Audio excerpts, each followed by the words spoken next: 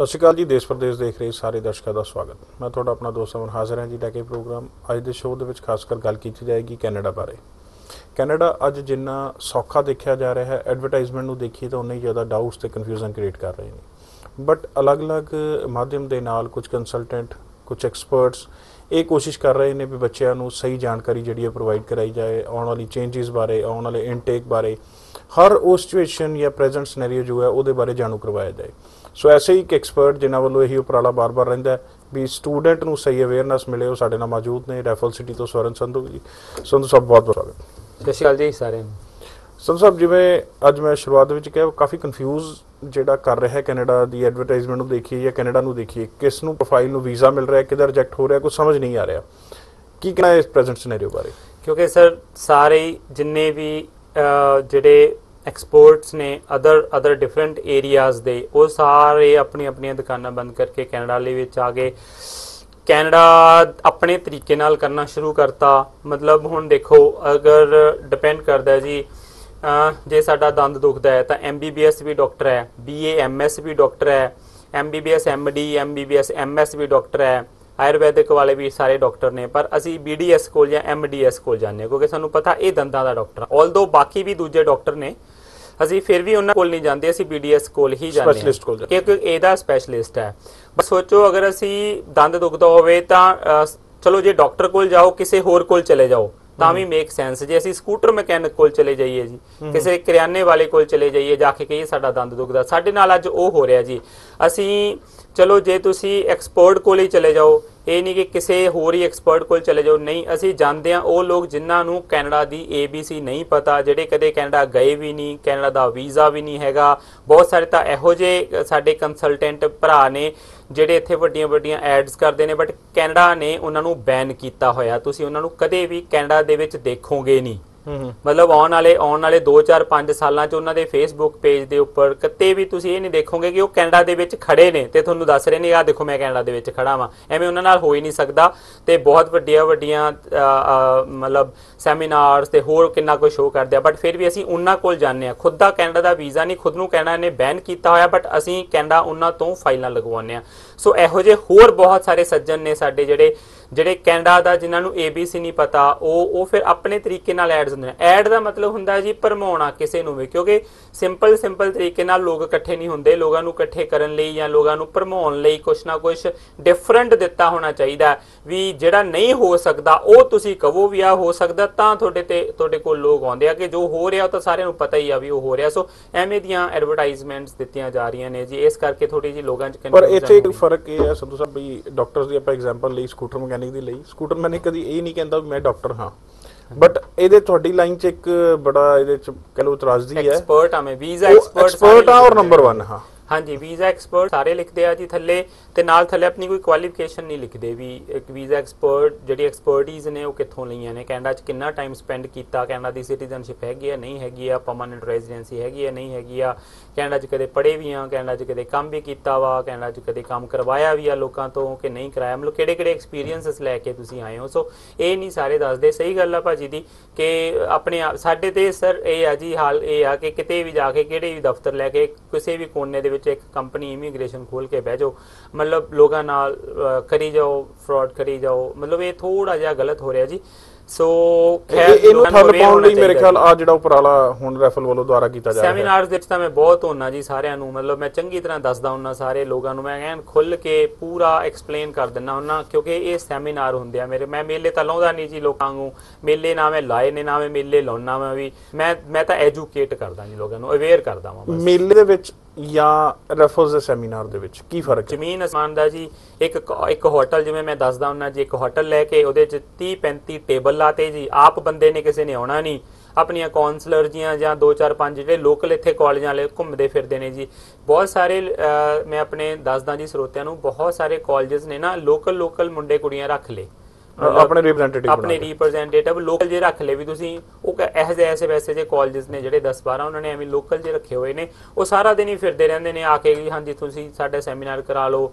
ਉਹ 10 12 ਕੋ ਇਕੱਠੇ ਕੀਤੇ ਹੁੰਦੇ ਨੇ 10 12 ਆਪਣੀਆਂ ਕਾਉਂਸਲਰਸ ਹੁੰਦੀਆਂ ਨੇ ਕਮਰਾ ਅੰਦਰ ਹੋਟਲ 'ਚ ਬੜੋ ਪੂਰੀ ਸਾਈ- ਸਾਈਡਾਂ ਤੇ ਸਾਰੇ ਲਗਾ ਕੇ ਬੈਠ ਜਾਂਦੇ ਨੇ ਚੁੱਪਚਾਪ ਸ਼ਾਂਤੀ ਹੁੰਦੀ ਹੈ ਜੀ ਉੱਥੇ ਅੰਦਰ ਵੜੀ ਜਾਓ ਆ ਜਾਓ ਮਿਲੀ ਜਾਓ ਪੰਜ ਸੱਤ ਲੋਕਾਂ ਨੂੰ ਆ ਜਾਓ ਜੀ ਮੇਲਾ। ਸੈਮੀਨਾਰ ਆਓ ਬੈਠੋ ਗੱਲਬਾਤ ਕਰੋ ਕੋਈ ਨੌਲੇਜ ਲਵੋ ਐਜੂਕੇਟ ਕਰਾਂਗੇ ਤੁਹਾਨੂੰ ਟੌਪਿਕਸ ਦੇ ਉੱਪਰ ਐਜੂਕੇਟ ਕਰਾਂਗੇ, ਕੀ ਹੋ ਰਿਹਾ, ਕੀ ਨਹੀਂ ਹੋ ਰਿਹਾ, ਕੀ ਹੋਣਾ ਚਾਹੀਦਾ, ਇਹ ਸਾਰੀਆਂ ਚੀਜ਼ਾਂ ਨੂੰ ਮੁੱਖ ਰੱਖ ਕੇ ਤੁਹਾਨੂੰ ਕੱਲੇ-ਕੱਲੇ ਬੱਚੇ ਨੂੰ ਐਕਸਪਰਟ ਮਿਲਦਾ ਵਾ। ਤੁਹਾਨੂੰ ਕੱਲੇ-ਕੱਲੇ ਬੰਦੇ ਨੂੰ, ਤੁਹਾਡੇ ਹਿਸਾਬ ਨਾਲ ਬੱਚੇ ਨੂੰ, ਬੱਚੇ ਦੀ ਪ੍ਰੋਫਾਈਲ ਦੇ, ਉਹਦੀ ਫੈਮਿਲੀ ਦੇ, ਉਹਦੇ ਫਿਜ਼ੀਕਲ ਸਟਰਕਚਰ ਦੇ ਹਿਸਾਬ ਨਾਲ ਹੀ ਕੋਰਸ ਦਿੱਤੇ ਜਾਂਦੇ ਨੇ। ਮਤਲਬ ਕਿਸੇ ਨੂੰ ਐਵੇਂ ਦਾ un- ਜਿਹੜਾ ਜੀ ਅਨਮੈਚੇਬਲ ਜਿਹੜਾ ਕੋਰਸਸ ਆ, ਉਹ ਅਸੀਂ ਨਹੀਂ ਦਿੰਦੇ। ਸੋ ਸੈਮੀਨਾਰ ਇੱਕ ਨੌਲੇਜ ਵਾਲੀ ਜਿੱਥੇ ਜਨਰਲੀ ਨੌਲੇਜ ਮਿਲਣੀ ਆ ਤੁਹਾਨੂੰ ਅਸੀਂ ਰਜਿਸਟਰਡ ਕਰਨ ਨਹੀਂ ਆਉਂਦੇ ਬੱਚੇ ਅਸੀਂ ਤੁਹਾਨੂੰ ਐਜੂਕੇਟ ਕਰਨ ਆਉਂਦੇ ਆ। ਨੌਲੇਜ ਦੇਣ ਆਉਂਦੇ ਆ ਤੁਸੀਂ ਰਜਿਸਟਰਡ ਹੋਣਾ ਨਹੀਂ ਹੋਣਾ ਆ ਤਾਂ ਤੁਹਾਡੀ ਇੱਛਾ ਹੁੰਦੀ ਹੈ ਬਟ ਅਸੀਂ ਤੁਹਾਨੂੰ ਐਜੂਕੇਟ ਕਰਨ ਆਉਂਦੇ ਆ। ਸੈਮੀਨਾਰਸ ਦੇ ਡੇਟ ਮੈਂ ਦੱਸ ਦਿੰਦਾ ਜੀ ਜਿਹੜਾ ਇਹਨਾਂ ਦੇ ਸੈਮੀਨਾਰ ਦੇ ਵਿੱਚ ਹਿੱਸਾ ਲੈਣਾ ਚਾਹੁੰਦਾ ਕੈਨੇਡਾ ਬਾਰੇ ਸਹੀ ਜਾਣਕਾਰੀ ਚਾਹੁੰਦਾ। ਸਤੰਬਰ ਇਨਟੇਕ ਜਾਂ ਜੈਨ ਇਨਟੇਕ ਲਈ ਕੋਈ ਵੀ ਜਾਣਕਾਰੀ ਹੈ ਉਹ ਤੁਹਾਨੂੰ ਦੋਨੀ ਬਾਰੇ ਦਿੱਤੀ ਜਾਏਗੀ। 3 ਤਰੀਕ ਨੂੰ ਪਟਿਆਲਾ 4 ਜੂਨ ਬਠਿੰਡਾ 5 ਅੰਮ੍ਰਿਤਸਰ ਫਿਰ 6 ਨੂੰ ਮੋਗਾ 7 ਨੂੰ ਲੁਧਿਆਣਾ 8 ਨੂੰ ਚੰਡੀਗੜ੍ਹ। ਵੈਨਿਊ ਤੁਹਾਡੇ ਸਕਰੋਲ ਰੂਪ ਚ ਚੱਲ ਵੀ ਰਿਹਾ ਤੁਸੀਂ ਉੱਥੇ ਵੀ ਨੋਟ ਕਰ ਸਕਦੇ ਹੋ। ਅਦਰਵਾਈਜ਼ ਜਿਹੜਾ ਨੰਬਰ ਚੱਲ ਰਿਹਾ ਉੱਥੇ ਆਪਣੀ ਅਪਾਇੰਟਮੈਂਟ ਬੁੱਕ ਕਰਵਾ ਸਕਦੇ ਹੋ। ਇਹ ਜਿਹੜੇ ਹੁਣ 3 ਤੋਂ ਲੈ ਕੇ 8 ਤੱਕ ਇੱਕ ਸਿਲਸਿਲਾ ਚਲਾਇਆ ਜਾ ਰਿਹਾ ਸੈਮੀਨਾਰ ਦਾ, ਤੁਸੀਂ ਆਪ ਵਿਜ਼ਿਟ ਕਰ ਰਹੇ ਹੋ। ਰਿਪਰੈਜ਼ੈਂਟੇਟਿਵ ਹੋਏਗਾ ਜਾਂ ਸਵਰਨ ਸੰਧੂ ਜੀ ਮਿਲਣਗੇ ਆਪ ਉੱਥੇ? ਸਵਰਨ ਸੰਧੂ ਜੀ ਮਿਲਣਗੇ ਜੀ ਸਾਰਿਆਂ ਨੂੰ। ਰਿਪਰੈਜ਼ੈਂਟੇਟਿਵ ਤੇ ਜਿਹੜੇ ਜਿਨ੍ਹਾਂ ਨੇ ਜਾ ਕੇ ਜਿਹੜੀਆਂ ਫੈਸਿਲਿਟੀਆਂ ਦੇਣੀਆਂ ਹੁੰਦੀਆਂ ਨੇ, ਮੈਂ ਮਿਲਾਂਗਾ ਜੀ ਸਾਰਿਆਂ ਨੂੰ। ਮੇਰੀ ਐਕਸਪਰਟ ਟੀਮ ਮਿਲੇਗੀ, ਜਿਨ੍ਹਾਂ ਨੂੰ ਪੂਰੀਆਂ ਕੈਨੇਡਾ ਤੋਂ, ਨਿਊਜ਼ੀਲੈਂਡ ਤੋਂ, ਆਸਟ੍ਰੇਲੀਆ ਤੋਂ ਟ੍ਰੇਨਿੰਗਸ ਕਰਵਾਈਆਂ ਹੋਈਆਂ ਨੇ। ਸੋ ਇਹਦੇ ਵਿੱਚ ਜਿਹੜੇ ਕਾਲਜਸ ਜਦੋਂ ਆਉਂਦੇ ਨੇ ਜੋ ਫੈਸਿਲਿਟੀਆਂ ਉਸ ਟਾਈਮ ਤੇ ਔਨ ਸਪੌਟ ਔਰ ਫੀਸ ਵੇਵਰ ਵਾਲੀ ਹੁੰਦੀ ਆ ਉਹ ਸਾਰੀਆਂ ਫੈਸਿਲਿਟੀਆਂ ਮੇਰੇ ਕੋਲ ਹੁੰਦੀਆਂ ਨੇ ਜੀ ਮੈਂ ਨਾਲ ਹੀ ਲੈ ਕੇ ਜਾਣਾ ਵਾਂ ਸਾਰੀਆਂ ਫੀਸ ਵੇਵਰ ਔਰ ਸਭ ਕੁਝ ਫੈਸਿਲਿਟੀਆਂ ਉਵੇਂ ਹੀ ਹੁੰਦੀਆਂ ਨੇ ਪਲੱਸ ਤੁਹਾਨੂੰ ਐਜੂਕੇਟ ਵੀ ਕਰ ਦਿੰਨੇ ਆ ਤੁਹਾਨੂੰ ਫੈਸਿਲਿਟੀਆਂ ਵੀ ਸੇਮ ਮਿਲ ਜਾਂਦੀਆਂ ਨੇ ਤੁਹਾਨੂੰ ਇੱਕ ਐਕਸਪਰਟ ਦੀ رائے ਵੀ ਮਿਲ ਜਾਂਦੀ ਹੈ ਤੁਹਾਡੇ ਇੱਕੋ ਹੀ ਜਗ੍ਹਾ ਤੇ ਸਾਰੇ ਕੰਮ ਹੋ ਜਾਂਦੇ ਨੇ ਜੀ ਸੈਮੀਨਾਰਸ ਦੇ ਵਿੱਚ ਆਉਣਾ ਨਾ ਜਰੂਰ ਭੁੱਲਿਓ ਜੀ ਪਟਿਆਲੇ ਮੈਂ ਦੱਸ ਦਿੰਨਾ ਭਾਜੀ ਨੇ ਦੱਸੀ ਨੇ ਜਗ੍ਹਾ ਜੀ ਇੱਕ ਵਾਰ ਪਟਿਆਲੇ ਜਿਹੜਾ ਨਰੈਣ ਕੰਟੀਨੈਂਟਲ ਹੈ ਜੀ ਸਾਡੇ ਸਾਰੇ ਤਕਰੀਬਨ ਸੇਮ ਹੀ ਉਹ ਭਾਜੀ ਗੱਲ ਕਰ ਰਹੇ ਸੀ ਵੀ ਹੋਟਲ ਸਾਡੇ ਸੇਮ ਹੀ ਹੁੰਦੇ ਨੇ ਜੀ। ਹਰ ਵਾਰ ਪਟਿਆਲੇ ਨਰੈਣ ਕੰਟੀਨੈਂਟਲ ਦੇ ਵਿੱਚ ਹੈਗਾ ਜੀ 3 ਜੂਨ ਨੂੰ 3 ਜੂਨ ਤੋਂ ਸਟਾਰਟ ਆ ਜੀ। 4 ਜੂਨ ਨੂੰ ਬਠਿੰਡੇ ਆ ਜੀ। ਬਠਿੰਡੇ ਸਾਡਾ ਸ਼ੁਰੂ ਤੋਂ ਕ੍ਰਿਸ਼ਨਾ ਕੰਟੀਨੈਂਟਲ ਦੇ ਵਿੱਚ ਹੀ ਹੁੰਦਾ ਵਾ ਜੀ। ਉਸ ਤੋਂ ਬਾਅਦ 5 ਨੂੰ ਅੰਮ੍ਰਿਤਸਰ ਹੈ ਜੀ। ਅੰਮ੍ਰਿਤਸਰ ਸਾਡਾ ਆਫਿਸ ਹੈਗਾ ਆ ਜੀ, ਪਰ ਆਫਿਸ ਸਾਡੇ ਕੋਲ ਦੋ ਨੇ ਜੀ ਉੱਥੇ। ਬਟ ਰਸ਼ ਇੰਨਾ ਜ਼ਿਆਦਾ ਹੋ ਜਾਂਦਾ ਕਿ ਅਸੀਂ ਆਫਿਸਿਸ ਦੇ ਵਿੱਚ ਅਕਮੋਡੇਟ ਨਹੀਂ ਕਰ ਪਾਉਂਦੇ। ਸੋ ਆਫਿਸ ਦੇ ਸਾਡੇ ਬਿਲਕੁਲ ਹੀ ਨਾਲ ਹੋਟਲ ਬੈਸਟ ਵੈਸਟਰਨ ਹੁੰਦਾ ਜੀ, ਫਿਰ ਸਾਨੂੰ ਉੱਥੇ ਕਰਨਾ ਪੈਂਦਾ ਜੀ। ਸੇਮ ਮੋਗੇ ਸਾਡਾ ਆਰਬਿਟ ਹੋਟਲ ਦੇ ਵਿੱਚ ਹੁੰਦਾ ਜੀ, ਜੀਰਾ ਰੋਡ ਦੇ ਉੱਪਰ ਹੈਗਾ ਜੀ। 6 ਤਰੀਕ ਨੂੰ ਹੈ ਜੀ 7 ਨੂੰ 7 ਜੂਨ ਨੂੰ ਜੀ ਲੁਧਿਆਣੇ ਆ। ਲੁਧਿਆਣੇ ਫਿਰ ਸਾਡਾ ਆਫਿਸ ਹੈ ਜੀ, ਬਹੁਤ ਵੱਡਾ ਆਫਿਸ ਹੈ 4000 ਸਕੁਅਰ ਫੀਟ ਦੇ ਵਿੱਚ। ਫਿਰ ਵੀ ਸਾਡੇ ਉੱਥੇ ਜਿਹੜੇ ਇੰਨੇ ਜ਼ਿਆਦਾ ਜਿਹੜੇ ਪਿਆਰ ਕਰਨ ਵਾਲੇ ਲੋਕ ਆ ਜਾਂਦੇ ਨੇ, ਉਹ ਸਾਡੇ ਤੋਂ ਅਕਮੋਡੇਟ ਨਹੀਂ ਹੁੰਦੇ। ਸੋ ਇਸ ਲਈ 7 ਤਰੀਕ ਨੂੰ ਜੀ 7 ਜੂਨ ਨੂੰ ਲੁਧਿਆਣੇ ਅਸੀਂ ਇਹ ਹੋਟਲ 'ਚ ਕਰ ਰਹੇ ਹਾਂ ਫਿਰੋਜ਼ ਗਾਂਧੀ ਮਾਰਕੀਟ ਦੇ ਵਿੱਚ ਹੈਗਾ ਜੀ ਹੋਟਲ।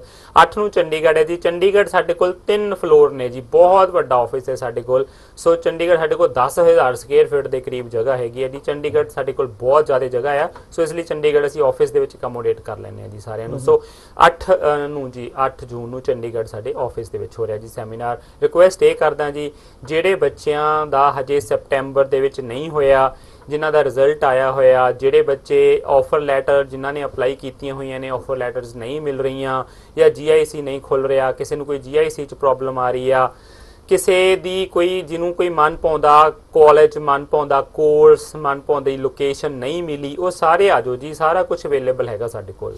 ਸਪਟੈਂਬਰ ਇਨਟੇਕ ਮੋਸਟਲੀ ਕਿਹਾ ਜਾ ਰਿਹਾ ਵੀ ਉਦੋਂ ਤੱਕ ਬੰਦ ਹੋ ਜਾਏਗਾ ਤੇ ਉਹ ਉਹਦੇ ਬਾਰੇ ਕੀ ਕਹਿਣਾ? ਕੁਛ ਨਾ ਜੀ ਇਹ ਇਹਦੇ ਵਿੱਚ ਇੱਕ ਸਿਸਟਮ ਹੋਰ ਚੱਲ ਰਿਹਾ ਜੀ ਬਹੁਤ ਸਾਰੇ ਕਾਲਜਸ ਨੇ ਆਫਰ ਲੈਟਰ ਬੱਚਿਆਂ ਨੂੰ ਦਿੱਤੀਆਂ ਹੋਈਆਂ ਨੇ ਜਿਨ੍ਹਾਂ ਦੇ ਵਿੱਚ ਉਹਨਾਂ ਨੇ ਨਾ ਇੱਕ ਡੇਟ ਮੈਂਸ਼ਨ ਕਰਤੀ ਹੈ ਕਿ ਇੰਨੀ ਤਰੀਕ ਤੱਕ ਤੁਸੀਂ ਆਪਣੀ ਫੀਸ ਜਮ੍ਹਾਂ ਕਰਾਓ। ਬਹੁਤ ਸਾਰੇ ਸਟੂਡੈਂਟ ਨੇ ਜਿਹੜੇ ਉਹ ਫੀਸ ਜਮ੍ਹਾਂ ਨਹੀਂ ਕਰਵਾ ਰਹੇ ਕਿਉਂਕਿ ਉਹ ਬੱਚੇ ਸੋਚ ਰਹੇ ਕਿ ਅਸੀਂ ਪਹਿਲਾਂ ਆਇਲਟਸ ਦਾ ਜਦੋਂ ਤੱਕ ਸਾਡਾ ਰਿਜ਼ਲਟ ਨਹੀਂ ਆਉਂਦਾ ਜਾਂ ਸਾਡਾ ਸੀਬੀਐਸਈ ਦਾ ਰਿਜ਼ਲਟ ਨਹੀਂ ਆਉਂਦਾ ਪਲੱਸ 2 ਦਾ ਉਦੋਂ ਤੱਕ ਅਸੀਂ ਉਹ ਪੇਮੈਂਟ ਜਿਹੜੀ ਕਾਲਜ ਦੀ ਆ ਫੀਸ ਜਮ੍ਹਾਂ ਨਹੀਂ ਕਰਾਉਣੀ। ਇਸ ਲਈ ਉਹ ਉਹ ਜਿਹੜੀਆਂ ਸੀਟਾਂ ਨੇ ਉਹ ਖਾਲੀ ਹੋਈ ਜਾ ਰਹੀਆਂ ਨੇ। ਸੋ ਤੁਸੀਂ ਜਿਹੜੇ ਆਪਾਂ ਪੰਜਾਬ ਬੋਰਡ ਦੇ ਰਿਜ਼ਲਟ ਦੀ ਵੀ ਗੱਲ ਕਰ ਲੈਂਦੇ ਹਾਂ ਨਾਲ ਜਿਹੜਾ ਹੁਣ ਰਿਜ਼ਲਟ ਪਿਛਲੇ ਦੇ ਮੁਕਾਬਲੇ ਇਸ ਵਾਰੀ ਬਹੁਤ ਘੱਟ ਰਿਹਾ। ਹਾਂਜੀ। ਕੁਝ ਉਹਦੇ ਮੁਤਾਬਿਕ ਵੀ ਕੰਡੀਸ਼ਨਲ ਆਫਰ ਲੈਟਰ ਜਿਹੜੀਆਂ ਉਹ ਵੀ ਕੈਨਸਲ ਹੋਣ ਜਾਣਗੀਆਂ ਉਹ ਵੀ ਕੁਝ ਵੱਧਦਾ ਦੂਜੇ ਲਈ ਮੌਕਾ ਜਿਨੇ ਥੋੜਾ ਜਿਹਾ ਬੋਰਡ ਨੇ ਆਪਣੀ ਇਮੇਜ ਸੁਧਾਰਨ ਲਈ ਇਹ ਕੰਮ ਕੀਤਾ ਜੀ ਇਸ ਵਾਰ ਕਿਉਂਕਿ ਜਿਵੇਂ ਪਿੱਛੇ ਜੇ ਆਸਟ੍ਰੇਲੀਆ ਵਾਲਿਆਂ ਨੇ ਕਿਹਾ ਸੀ ਕਿ ਅਸੀਂ ਪੰਜਾਬ ਬੋਰਡ ਲੈਣਾ ਨਹੀਂ ਗ੍ਰੇਸ ਮਾਰਕਸ ਮਿਲਨੇ ਸ਼ੁਰੂ ਹੋ ਗਏ ਸੀਗੇ ਉਹਨਾਂ ਨੇ ਗ੍ਰੇਸ ਬੰਦ ਕੀਤੇ। ਲੀਨੀਅੰਸੀ ਜ਼ਿਆਦਾ ਦਿਖਾਈ ਜਾ ਰਹੀ ਹਾਂਜੀ ਸੋ। ਉਹ- ਉਹਦੇ ਵਿੱਚ ਪਰਸੈਂਟੇਜ ਨੂੰ ਇਹਨਾਂ ਨੇ ਆਪਣੀ ਇਮੇਜ ਸੁਧਾਰਨ ਲਈ ਪੰਜਾਬ ਸਕੂਲ ਐਜੂਕੇਸ਼ਨ ਬੋਰਡ ਨੇ ਕਿ ਸਾਡੀ ਇਮੇਜ ਵਧੀਆ ਬਣ ਜਾਵੇ ਆਉਣ ਵਾਲੇ ਟਾਈਮ ਦੇ ਵਿੱਚ। ਇਸ ਲਈ ਇਹਨਾਂ ਨੇ ਜਿਹੜੀ ਇਸ ਵਾਰ ਮਾਰਕਿੰਗ ਆਊਟ ਟਾਈਟ ਕੀਤੀ ਆ। ਬਹੁਤ ਸਾਰੇ ਬੱਚੇ ਨੇ ਜਿਹੜੇ ਬਿਲੋ 60 ਰਹਿ ਚੁ- ਰਹਿ ਗਏ ਜੀ ਇਸ ਵਾਰ, ਬਹੁਤ ਸਾਰੇ ਬੱਚੇ ਨੇ। ਸੋ ਉਹ ਕੁਝ ਵੀ ਸੀਟਾਂ ਖਾਲੀ ਹੋਣਗੀਆਂ ਜੀ, ਉਹਨਾਂ ਦੀਆਂ ਵੀ ਹੋਰ ਵੀ ਬਹੁਤ ਸਾਰੀਆਂ ਸੀਟਾਂ ਅਦਰ ਅਦਰ ਡਿਫਰੈਂਟ ਰੀਜ਼ਨ ਨਾਲ ਆਇਲਟਸ ਦੀ ਡੇਟ ਲੈਣ ਦੇ ਕਰਕੇ ਜਾਂ ਹੋ ਸਕਦੀਆਂ ਨੇ। ਸੋ ਉਹ ਜਿਹੜੀਆਂ ਸੀਟਾਂ ਸਾਡੇ ਕੋਲ ਖਾਲੀ ਆਉਂਦੀਆਂ ਨੇ, ਉਹ ਐਕਚੁਅਲ ਦੇ ਵਿੱਚ ਸਾਨੂੰ ਪਰਸਨਲ ਜਿੱਦਾਂ ਅਸੀਂ ਪਲੈਟੀਨਮ ਰਿਪਰੈਜ਼ੈਂਟੇਟਿਵ ਆ। ਪਲੈਟੀਨਮ ਐਸੋਸੀਏਟ ਆ ਜੀ ਬਹੁਤ ਸਾਰੇ ਕਾਲਜਸ ਦੇ। ਪਲੈਟੀਨਮ ਦਾ ਮਤਲਬ ਹੈ ਜੀ ਕਿ ਪੂਰੇ ਇੰਡੀਆ ਦੇ ਵਿੱਚੋਂ ਸਭ ਨਾਲੋਂ ਵੱਧ ਅਸੀਂ ਬੱਚੇ ਉਹਨਾਂ ਕਾਲਜਸ ਨੂੰ ਦਿੰਨੇ ਆ। ਅਸੀਂ ਦੋ ਤਿੰਨ ਕਾਲਜਸ ਦੇ ਪਲੈਟੀਨਮ ਐਸੋਸੀਏਟ ਆ ਜੀ।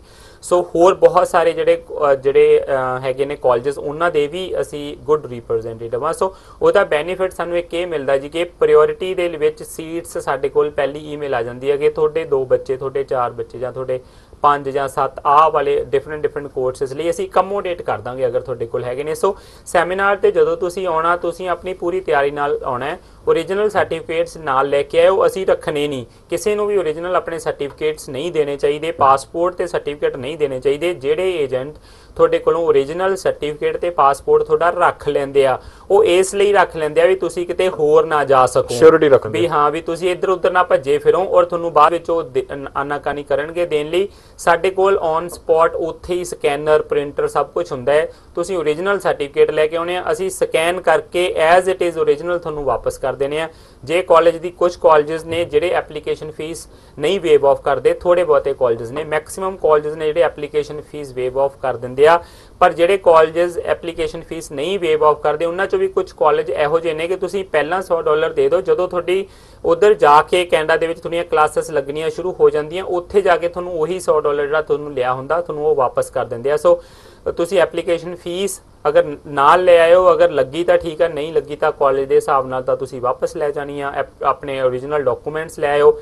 10th ਦਾ ਸਰਟੀਫਿਕੇਟ ਤੇ ਪਲੱਸ 1 ਦਾ ਤਾਂ ਲੈ ਹੀ ਆਇਓ, ਤੁਹਾਡੀ ਆਫਰ ਲੈਟਰ ਅਪਲਾਈ ਹੋ ਜੂਗੀ। ਜੇ ਪਾਸਪੋਰਟ ਹੈਗਾ ਤਾਂ ਵੈਲ ਐਂਡ ਗੁੱਡ ਤੇ ਜੇ ਪਲੱਸ 2 ਵਾਲੇ ਬੱਚਿਆਂ ਦਾ TRF Punjab school education board ਵਾਲਿਆਂ ਦਾ ਆ ਗਿਆ ਤਾਂ ਠੀਕ ਹੈ, ਨਹੀਂ ਤਾਂ ਆਨਲਾਈਨ ਕੱਢ ਲਿਆਓ ਮਤਲਬ ਇਹ ਦੋ ਤਿੰਨ ਚੀਜ਼ਾਂ ਨਾਲ ਲੈ ਕੇ ਆਓ ਸੋ ਦੈਟ ਆਪਾਂ ਤੁਹਾਡਾ ਅਗਲਾ ਜਿਹੜਾ ਪ੍ਰੋਸੈਸ ਆ, ਉਹ ਸੈਪਟੈਂਬਰ ਵਾਲਾ। ਅਸੀਂ ਟਰਾਈ ਪਹਿਲਾਂ ਸੈਪਟੈਂਬਰ ਦੀ ਕਰਾਂਗੇ। 1% ਅਗਰ ਤੁਹਾਡਾ ਨਹੀਂ ਹੋ ਪਾਇਆ, ਫਿਰ ਆਪਾਂ ਅੱਗੇ ਜਨਵਰੀ ਦੇ ਵਿੱਚ ਤੁਹਾਨੂੰ ਡੈਫਰਡ ਕਰਾਂਗੇ। ਕੁਝ ਬੱਚੇ ਵੀ ਨੇ ਜਿਹੜੇ ਹੁਣ ਪ੍ਰੋਵਿੰਸਿਸ ਵੱਲ ਥੋੜਾ ਆਪਣਾ ਝੁਕਾਅ ਦਿਖਾਉਣਾ ਸ਼ੁਰੂ ਕੀਤਾ, ਜਿਨ੍ਹਾਂ ਨੇ ਥੋੜੇ ਜਿਹੀ ਕੁਐਰੀਜ਼ ਉਹਦੇ ਵਾਲੇ ਵੀ ਕਰ ਰਹੇ ਨੇ। ਉਹਨਾਂ ਨੂੰ ਵੀ ਇਹਦੇ ਵਿੱਚ ਆਪਸ਼ਨਸ ਮਿਲਣਗੀਆਂ ਪ੍ਰੋਪਰ ਹਾਂਜੀ, ਬਹੁਤ ਸਾਰੀਆਂ ਪ੍ਰੋਵਿੰਸਿਸ ਦੇ ਵਿੱਚ ਸੀਟਾਂ ਪਈਆਂ ਵੀ ਨੇ ਆਲਦੋ ਇਹ ਪਹਿਲਾਂ ਭਰ ਜਾਂਦੀਆਂ ਨੇ, ਕਿਉਂਕਿ ਜਿਹੜੀਆਂ, ਜਿਵੇਂ ਅਲਬਰਟਾ ਆ, ਸਸਕੈਚਵਾਨਾ, ਇਹਨਾਂ ਦੇ ਵਿੱਚ ਜਿਹੜੇ ਇਹ ਇੰਟਰਨੈਸ਼ਨਲ ਸਟੂਡੈਂਟਸ ਬਹੁਤ ਘੱਟ ਲੈਂਦੇ ਆ, ਮੈਨੀਟੋਬਾ ਵਗੈਰਾ।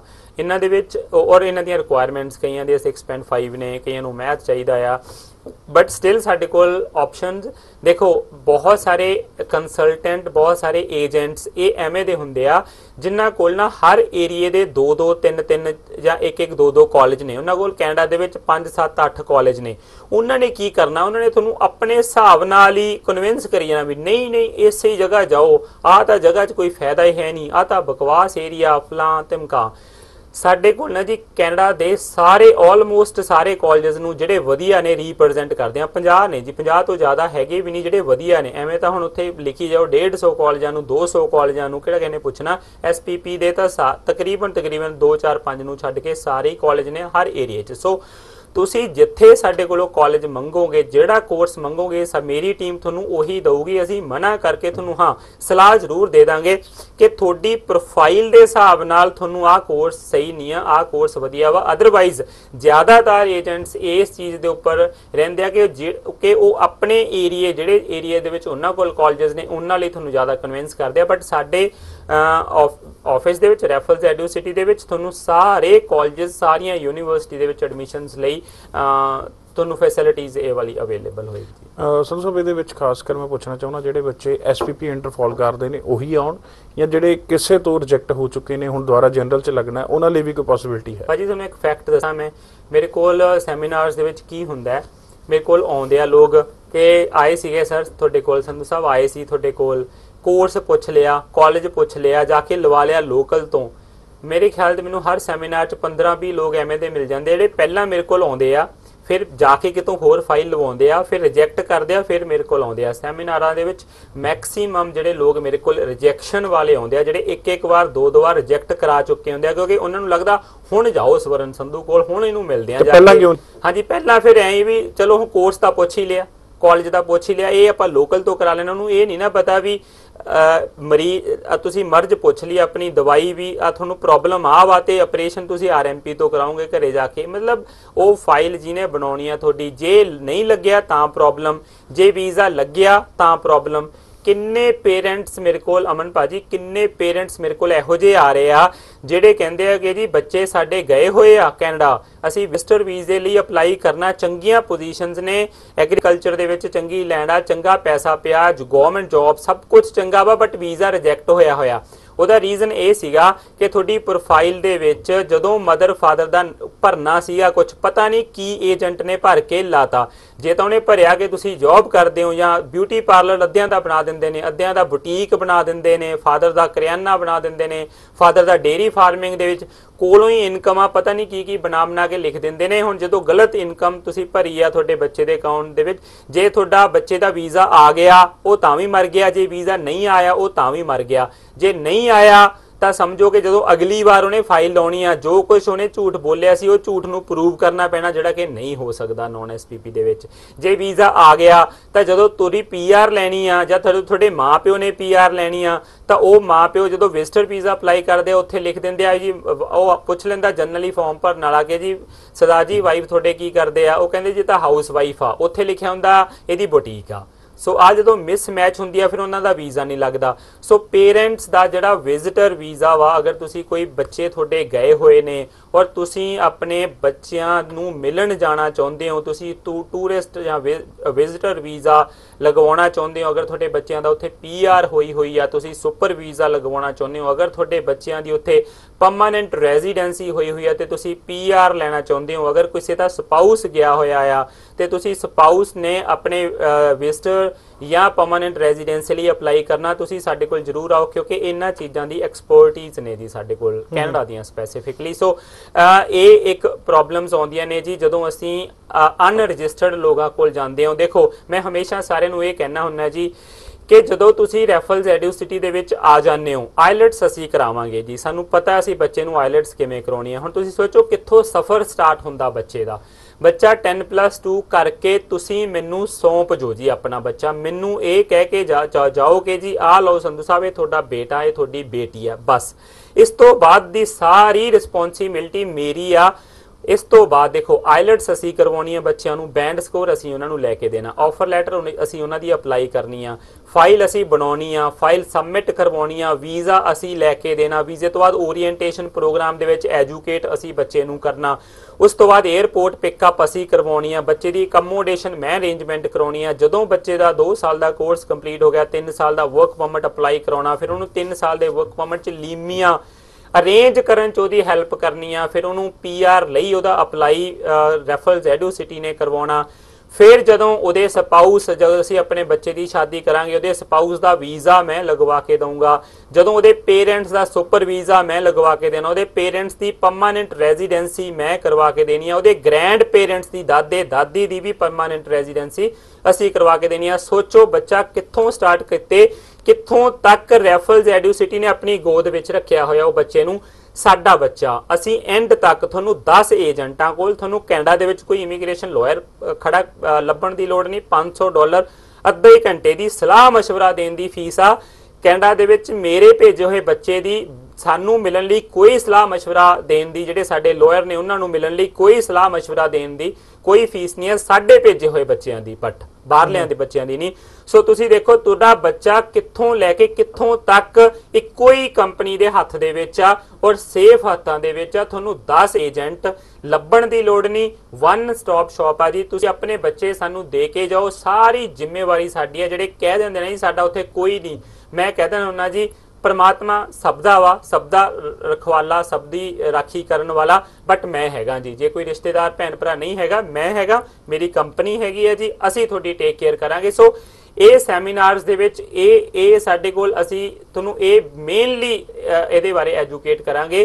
ਕਿਹੜਾ ਕੋਰਸ ਲਿਆ ਜਾਣਾ ਚਾਹੀਦਾ, ਕਿਹੜਾ ਕਾਲਜ ਲਿਆ ਜਾਣਾ ਚਾਹੀਦਾ, ਕੈਨੇਡਾ ਦੇ ਵਿੱਚ ਕਾਮਯਾਬ ਕਿਵੇਂ ਹੋਇਆ ਜਾਂਦਾ, ਕੈਨੇਡਾ ਦੇ ਵਿੱਚ ਬੁਲੰਦੀਆਂ ਨੂੰ ਕਿਵੇਂ ਛੂਇਆ ਜਾਂਦਾ, ਕਿਵੇਂ ਅੱਗੇ ਵਧਿਆ ਜਾਂਦਾ, ਇਹ ਸਾਰੀਆਂ ਚੀਜ਼ਾਂ ਤੁਹਾਨੂੰ ਨਿਸ਼ਚਿੰਤ ਹੋ ਜਾਣਾ ਚਾਹੀਦਾ ਮਾਪਿਓ ਨੂੰ ਜਦੋਂ ਤੁਸੀਂ ਬੱਚਾ ਸਾਡੇ ਕੋਲ ਰੈਫਲਸ ਐਡੂਸਿਟੀ ਛੱਡ ਜਾਂਦੇ ਹੋ ਸੰਧੂ ਸਾਹਿਬ ਕਾਫੀ ਜਿਹੜੀ ਕੁਐਰੀਜ਼ ਨੇ ਉਹ ਜਿਵੇਂ ਬੱਚਿਆਂ ਦੇ ਹੁਣ 90 ਪਲੱਸ ਵੀ ਨੰਬਰ ਨੇ 80 ਪਲੱਸ ਨੰਬਰ ਨੇ ਸਕਾਲਰਸ਼ਿਪਸ ਨੂੰ ਲੈ ਕੇ ਵੀ ਆਉਂਦੀਆਂ ਵੀ ਕੀ ਕਾਲਜ ਯੂਨੀਵਰਸਿਟੀਜ਼ ਆਫਰ ਕਰਦੇ ਆ ਕੈਨੇਡਾ ਬਿਲਕੁਲ ਕਰਦੇ ਆ ਜੀ। ਕਾਲਜਸ ਵੀ ਸਕਾਲਰਸ਼ਿਪ ਦਿੰਦੇ ਆ। ਕਾਲਜਸ ਮਾਰਕਸ ਜਿਹੜੇ ਆਉਂਦੇ ਆ ਤੁਹਾਡੇ 12th ਗ੍ਰੇਡ ਦੇ ਉਹਨਾਂ ਦੇ ਉੱਪਰ ਵੀ ਸਕਾਲਰਸ਼ਿਪ ਦਿੰਦੇ ਆ ਆਈਲੈਟਸ ਦੇ ਉੱਪਰ ਵੀ ਸਕਾਲਰਸ਼ਿਪ ਦਿੰਦੇ ਆ ਬਟ ਸਟਾਰਟਿੰਗ 'ਚ ਨਹੀਂ ਦਿੰਦੇ। ਜਿੰਨੇ ਵੀ ਕਾਲਜਸ ਨੇ ਉਹ ਸਟਾਰਟਿੰਗ 'ਚ ਨਹੀਂ ਦਿੰਦੇ। ਉਹ ਸੈਕੰਡ ਸਮੈਸਟਰ ਤੋਂ ਸਕਾਲਰਸ਼ਿਪ ਤੁਹਾਨੂੰ ਅਪਲਾਈ ਕਰਨੀ ਜਾ ਕੇ ਅਪਲਾਈ ਕਰਨੀ ਪੈਂਦੀ ਆ ਪਰ ਜਿਹੜੀਆਂ ਯੂਨੀਵਰਸਿਟੀਜ਼ ਨੇ ਯੂਨੀਵਰਸਿਟੀਜ਼ ਸਟਾਰਟਿੰਗ ਦੇ ਵਿੱਚ ਸਕਾਲਰਸ਼ਿਪ ਦੇ ਦਿੰਦੀਆਂ। ਸੋ ਜਿਹੜੇ ਬ੍ਰਿਲੀਅੰਟ ਸਟੂਡੈਂਟਸ ਨੇ ਉਹ ਸਾਡੇ ਕੋਲ ਆਓ ਸਕਾਲਰਸ਼ਿਪ ਗਰੰਟਡ ਅਸੀਂ ਲੈ ਕੇ ਦਵਾਂਗੇ ਤੁਹਾਨੂੰ। ਮੈਂ ਇੱਕ ਵਾਰੀ ਫਿਰ ਦੱਸ ਦਵਾਂ ਜੀ dates 3 June Patiala hotel Narayan continental 4 Bathinda, Krishna continental 5 ਨੂੰ ਅੰਮ੍ਰਿਤਸਰ, ਬੈਸਟ ਵੈਸਟਰਨ।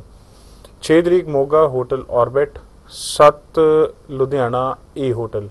ਤੇ 8 ਨੂੰ ਚੰਡੀਗੜ੍ਹ, ਇਹਨਾਂ ਦੇ ਆਫਿਸ ਵਿਖੇ ਸੈਮੀਨਾਰ ਕਰਵਾਇਆ ਜਾ ਰਿਹਾ। ਹੈ 3 ਤੋਂ ਲੈ ਕੇ 8 ਤੱਕ ਇਹ ਜਿਹੜੀ ਲੜੀ ਚੱਲੇਗੀ ਸੈਮੀਨਾਰ ਦੀ ਉਪਰਾਲਾ ਖਾਸ ਕਰ ਉਹਨਾਂ ਲਈ ਹੈ ਜਿਹੜੇ ਅੱਜ ਕੱਲ ਐਡਵਰਟਾਈਜ਼ਮੈਂਟ ਦੇਖ ਕੇ ਬਹੁਤ ਜ਼ਿਆਦਾ ਕਨਫਿਊਜ਼ ਨੇ ਵੀ ਐਕਚੁਅਲ ਰੂਲਸ ਕੁਝ ਚੇਂਜ ਹੋ ਗਏ ਨੇ ਜਾਂ ਉਹੀ ਨੇ ਕਿਉਂਕਿ ਐਡਵਰਟਾਈਜ਼ਮੈਂਟ ਦੇ ਵਿੱਚ ਬਹੁਤ ਤਰ੍ਹਾਂ ਦੀ ਚੀਜ਼ਾਂ ਸਾਹਮਣੇ ਆ ਰਹੀਆਂ ਸੰਧੂ ਸਾਹਿਬ ਮੇਰੇ ਕੋਲ ਵਿਦਆਊਟ ਆਈਸ ਵੀ ਹੁਣ ਐਡਵਰਟਾਈਜ਼ ਹੋਣ ਇੱਕ ਲੱਗਿਆ ਤਾਂ ਨਾ ਜੀ ਇੱਥੇ ਕੁਝ ਬਹੁਤ ਸਾਰੇ ਮੇਰੇ ਕੋਲ ਲੋਕ ਆਉਣੇ ਸ਼ੁਰੂ ਹੋ ਗਏ ਜੀ ਕਿ ਅਗਲੇ ਸਾਲ ਵੀ GIC ਸ਼ੁਰੂ ਹੋ ਗਿਆ ਕਹਿੰਦੇ ਸਾਨੂੰ ਕੁਝ ਅਸੀਂ ਇੱਕ ਦੋ ਸ਼ੋਅ ਦੇਖੇ ਸੀਗੇ।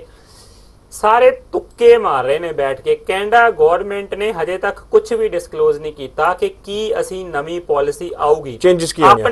ਕੋਈ ਕਿਸੇ ਨੂੰ ਨਹੀਂ ਪਤਾ ਵੀ ਚੇਂਜਸ ਕੀ ਆਉਣੀਆਂ ਨੇ, ਕਿਸੇ ਨੂੰ ਨਹੀਂ ਹਜੇ ਤੱਕ ਦੱਸਿਆ ਉਹਨਾਂ ਨੇ। ਐਂ ਹੀ ਕਿ ਜੀ ਉਹੀ ਤੁੱਕੇ ਆਪਣੇ ਉਹੀ ਵੈਸੇ ਇੰਪ੍ਰੈਸ਼ਨ ਜਾਂ ਪਾਉਣ ਲਈ ਵੀ ਜੀਆਈਸੀ ਦੂਜੇ ਸਾਲ ਦੀ ਵੀ ਕਰ ਦੇਣਗੇ ਆਈਲਟਸ ਵੀ ਵਧਾ ਦੇਣਗੇ ਕੁਝ ਨਹੀਂ ਜੀ ਪਤਾ ਲੱਗਿਆ ਕੀ ਕਰਨਗੇ, ਕੀ ਨਹੀਂ ਕਰਨਗੇ, ਤੁਹਾਨੂੰ ਟੈਨਸ਼ਨ ਲੈਣ ਦੀ ਲੋੜ ਨਹੀਂ।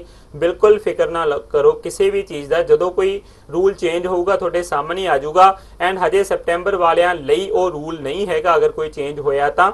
ਬਟ ਹਾਂ, ਜਨਵਰੀ ਚੋਂ ਅਗਰ ਕੋਈ ਹੋਇਆ ਤਾਂ ਜਨਰਲੀ ਮੋਸਟਲੀ ਜਿਹੜੇ ਰੂਲ ਚੇਂਜ ਹੁੰਦੇ ਆ, ਉਹ ਸੈਪਟੈਂਬਰ ਟੂ ਸੈਪਟੈਂਬਰ ਹੀ ਹੁੰਦੇ ਹੁੰਦੇ ਨੇ। ਬਟ ਕੈਨ ਸੇ ਐਨੀਥਿੰਗ ਹਜੇ ਤੱਕ ਕੁਝ ਵੀ ਨਹੀਂ ਕਿਹਾ ਜਾ ਸਕਦਾ ਕਿ ਕੈਨੇਡਾ ਹਾਈ ਕਮਿਸ਼ਨ ਨੇ ਕਿਹੜਾ ਡਿਸੀਜਨ ਲੈਣਾ ਔਰ ਉਹ ਡਿਸੀਜਨ ਦੇ ਵਿੱਚ ਕਿਹੜੇ-ਕਿਹੜੇ ਲੋਕਾਂ ਨੂੰ ਵਿੱਚ ਲਪੇਟਣਾ ਵਾ ਕਿਹੜੇ-ਕਿਹੜਿਆਂ ਨੂੰ ਛੱਡਣਾ ਵਾ ਹਜੇ ਕੁਝ ਨਹੀਂ ਕਹਿ ਸਕਦਾ। ਸੋ ਐਵੇਂ ਫਾਲਤੂ ਦੀਆਂ ਰਿਊਮਰ ਸੁਣ ਕੇ ਤੁਸੀਂ ਦਿਮਾਗ ਦੇ ਉੱਪਰ ਫਾਲਤੂ ਦੀ ਟੈਨਸ਼ਨ ਨਾ ਲਓ ਕਿ ਆ ਹੋ ਜਾਊਗਾ ਹੋ ਜਾਊਗਾ। ਹਜੇ ਤੱਕ ਜੋ ਚੱਲ ਰਿਹਾ ਉਹਨੂੰ ਫੋਲੋ ਕਰੋ। ਜਿਵੇਂ ਐਡਵਰਟਾਈਜ਼ਮੈਂਟ ਆੜੀ ਸੰਧੂ ਸਾਹਿਬ ਤੁਹਾਡੇ ਕੋਲ ਕਾਫੀ ਵਿਜ਼ਿਟ ਕਰਨਗੇ ਵੀ ਵਿਦਆਊਟ ਆਇਲਸ ਕੈਨੇਡਾ ਦੀ ਐਡਵਰਟਾਈਜ਼ਮੈਂਟ ਦੇਖੀ ਹੈ। ਉਸ ਚੀਜ਼ ਨੂੰ ਲੈ ਕੇ ਕੀ ਕਹਿਣਾ? ਵਿਦਆਊਟ ਆਇਲਟਸ ਵੀ ਦੇਖੀ ਹੈ ਜੀ ਪੰਜ ਬੈਂਡ ਨਾਲ ਵੀ ਦੇਖੀ ਹੈ ਜੀ 5.5 ਬੈਂਡ ਨਾਲ ਵੀ ਦੇਖੀ ਹੈ ਜੀ ਸਪਾਊਸ ਵੀਜ਼ਾ ਵੀ ਸਾਨੂੰ ਪਤਾ ਲੱਗਿਆ ਕੈਨੇਡਾ ਦਾ ਸ਼ੁਰੂ ਹੋ ਗਿਆ। ਇਹ ਸਭ ਉਹ ਲੋਕ ਨੇ ਜੀ ਜਿਨ੍ਹਾਂ ਕੋਲ ਕੰਮ ਧੰਦਾ ਕੋਈ ਹੈ ਨਹੀਂ ਜਿਨ੍ਹਾਂ ਕੋਲ ਕਾਲਜ ਕੋਈ ਡਾਇਰੈਕਟਲੀ ਹੈ ਨਹੀਂ ਕਰ ਕੁਝ ਸਕਦੇ ਨਹੀਂ ਪੈਸੇ ਕਮਾਉਣੇ ਆ ਪੈਕੇਜ ਬਣਾਉਣੇ ਆ ਉਹਨਾਂ ਲੋਕਾਂ ਨੇ ਇਹ ਚੀਜ਼ਾਂ ਸ਼ੁਰੂ ਕੀਤੀਆਂ ਹੁੰਦੀਆਂ। ਭਾਜੀ ਮੇਰੀ ਇੱਕ ਗੱਲ ਦੱਸੋ ਜੇ ਕਿਤੇ ਸਾਢੇ ਪੰਜ ਬੈਂਡ ਦੇ ਨਾਲ ਕੈਨੇਡਾ ਲੱਗਦਾ ਹੁੰਦਾ ਵੀਜ਼ਾ ਤਾਂ ਅੱਧਾ ਪੰਜਾਬ ਤਾਂ ਖਾਲੀ ਹੋਈ ਨਾ ਹੋ ਜਾਂਦਾ ਹੁਣ ਤੱਕ। ਅੱਧੇ ਪੰਜਾਬ ਪਿਆ ਵਾ ਭਰਿਆ ਪਿਆ ਸਾਢੇ ਪੰਜ ਪੰਜ ਬੈਂਡ ਦੇ ਨਾਲ। ਤੁਹਾਨੂੰ ਜਿਹੜੇ ਵੀਡੀਓਜ਼ ਦਿਖਾਉਂਦੇ ਆ, ਜਿਹੜੇ ਤੁਹਾਨੂੰ ਸ਼ੋਅ ਦਿਖਾਉਂਦੇ ਆ, ਤੁਹਾਨੂੰ 1 2 3 ਵੀਜ਼ੇ ਦਿਖਾਉਂਦੇ ਆ, ਉਹਨਾਂ ਨੇ 100 ਅਪਲਾਈ ਕੀਤਾ ਹੁੰਦਾ, ਵਿੱਚੋਂ 2 3 ਦੇ ਆਏ ਹੁੰਦੇ ਆ। ਉਹਨਾਂ ਨੂੰ ਕਹੋ 100 ਵੀਜ਼ਾ ਦਿਖਾਓ। ਤੁਸੀਂ ਮੇਰੇ ਫੇਸਬੁੱਕ ਤੇ ਜਾ ਕੇ ਦੇਖੋ ਵੀਡੀਓ ਅਸੀਂ 30 ਵੀਜ਼ੇ ਆਇਆ ਸਾਡੇ ਕੋਲ 40 ਵੀਜ਼ੇ ਆਇਆ ਇੱਕ ਵਾਰ 50 ਵੀਜ਼ੇ ਆਇਆ ਤੁਸੀਂ ਮੇਰੀ ਓਰੀਐਂਟੇਸ਼ਨ ਜਾ ਕੇ ਦੇਖੋ, ਜਿਹਦੇ ਵਿੱਚੋਂ ਅਸੀਂ 400 ਵੀਜ਼ਾ ਆਇਆ ਇੱਕ ਵਾਰ ਦੇ ਵਿੱਚ, ਪਰ ਉਹਨਾਂ 'ਚ ਇੱਕ ਵੀ 5.5 ਬੈਂਡ ਵਾਲਾ ਨਹੀਂ ਸੀ। ਉਹਨਾਂ ਨੂੰ ਕਹੋ ਸਾਨੂੰ ਦਿਖਾਓ 40 ਵੀਜ਼ੇ ਆਇਆ 5.5 ਬੈਂਡ ਵਾਲਿਆਂ ਦੇ। 50 ਵੀਜ਼ੇ ਆਇਆ 5.5 ਬੈਂਡ ਵਾਲਿਆਂ ਦੇ। ਨਹੀਂ ਤਿੰਨ ਵੀਜ਼ੇ ਆਇਆ ਦੋ ਵੀਜ਼ੇ ਆਇਆ ਉਹੀ ਬਾਰ-ਬਾਰ ਬਾਰ-ਬਾਰ ਦਿਖਾਈ ਜਾਂਦੇ ਆ। ਹੋਰ ਨਵੀਂ ਸੁਣੋ ਫੋਟੋਸ਼ਾਪ ਦੇ ਨਾਲ ਐਡਿਟ ਕਰ, ਕਰਕੇ ਲੋਕਾਂ ਨੂੰ ਦਿਖਾਈ ਜਾਂਦੇ ਆ। ਆਹ ਦੇਖੋ 5 5 ਸਾਢੇ ਸਾਢੇ 5 ਬੈਂਡ ਨਾਲ ਵੀਜ਼ੇ ਆਏ ਹੋਏ ਨੇ। ਭਾਜੀ, ਤੁਹਾਨੂੰ ਠੱਗੀਆਂ ਮਾਰਨ ਲਈ, ਤੁਹਾਨੂੰ ਲੁੱਟਣ ਲਈ ਸਾਰਾ ਪੰਜਾਬ ਬੈਠਾ ਹੋਇਆ ਹੈ। ਨੇ ਏਜੰਟ ਪੂਰੀਆਂ ਛੁਰੀਆਂ ਤੇਜ਼ ਕਰਕੇ ਬੈਠੇ ਹੋਏ ਨੇ। ਥੋੜਾ ਜਿਹਾ ਧਿਆਨ ਨਾਲ ਸੰਭਲ ਕੇ ਆਪਣਿਆਂ ਕੋਲ ਜਾਵੋ ਜਿਹੜੇ ਤੁਹਾਨੂੰ ਲੱਗ ਰਿਹਾ ਵੀ ਜੈਨੂਇਨ ਤਰੀਕੇ ਨਾਲ ਕੰਮ ਕਰ ਰਹੇ ਨੇ ਉਹਨਾਂ ਕੋਲ ਜਾਵੋ ਔਰ ਤੁਹਾਨੂੰ ਜੈਨੂਇਨਿਟੀ ਆਪੇ ਹੀ ਪਤਾ ਲੱਗ ਜਾਊਗੀ। ਥੋੜਾ ਜਿਹਾ ਧਿਆਨ ਨਾਲ ਤੁਸੀਂ ਕੰਮ ਕਰੋ ਜਿਹੜੇ ਵੀ। ਸੋ ਕੋਈ ਵੀ ਕੁਐਰੀ ਚਾਹੀਦੀ ਹੈ ਜੀ ਕੈਨੇਡਾ ਬਾਰੇ ਕੋਈ ਅਸੈਸਮੈਂਟ ਚਾਹੀਦੀ ਹੈ ਕਾਉਂਸਲਿੰਗ ਚਾਹੀਦੀ ਹੈ ਆਪਸ਼ਨਸ ਜਾਣਨੀਆਂ ਨੇ ਤਾਂ 3 4 5 6 7 8 ਲਗਾਤਾਰ ਸੈਮੀਨਾਰਸ ਨੇ ਅਲੱਗ-ਅਲੱਗ ਸ਼ਹਿਰ ਦੇ ਵਿੱਚ ਵੈਨਿਊ ਤੇ ਜਿਹੜੇ ਸ਼ਹਿਰਾਂ ਦੇ ਨਾਮ ਨੇ ਉਹ ਪ੍ਰੋਪਰ ਚੱਲ ਰਹੇ ਨੇ ਜਾਂ ਟੀਵੀ ਸਕਰੀਨ ਤੇ ਚੱਲ ਰਹੇ ਨੰਬਰ ਤੇ ਕਾਲ ਕਰਕੇ ਵੀ ਜਾਣਕਾਰੀ ਸਾਂਝੀ ਕਰ ਸਕਦੇ ਹੋ। ਸਮਾਂ ਨਹੀਂ ਅਲਾਉ ਕਰ ਰਿਹਾ ਬਟ ਸੰਧੂ ਸਾਹਿਬ ਸ਼ੋਅ ਦੇ ਵਿੱਚ ਆਉਣ ਲਈ ਬਹੁਤ-ਬਹੁਤ ਧੰਨਵਾਦ। ਸਤਿ ਸ਼੍ਰੀ ਅਕਾਲ ਜੀ ਸਾਰਿਆਂ ਨੂੰ। ਧੰਨਵਾਦ ਸਾਰੇ ਦਰਸ਼ਕਾਂ ਦਾ ਟੈਕਨੀਕਲ ਟੀਮ ਦਾ। ਨੈਕਸਟ ਸ਼ੋਅ ਦੇ ਵਿੱਚ ਜਿਹੜੇ ਸਵਾਲ ਰਹਿ ਗਏ ਜ਼ਰੂਰ ਸਾਂਝੇ ਕਰਾਂਗੇ। ਅੱਜ ਦੇ ਸ਼ੋਅ ਨੂੰ ਇੱਥੇ ਖਤਮ ਕਰਦੇ ਹਾਂ। ਦੇਵ ਇਜਾਜ਼ਤ। ਸਤਿ ਸ਼੍ਰੀ ਅਕਾਲ।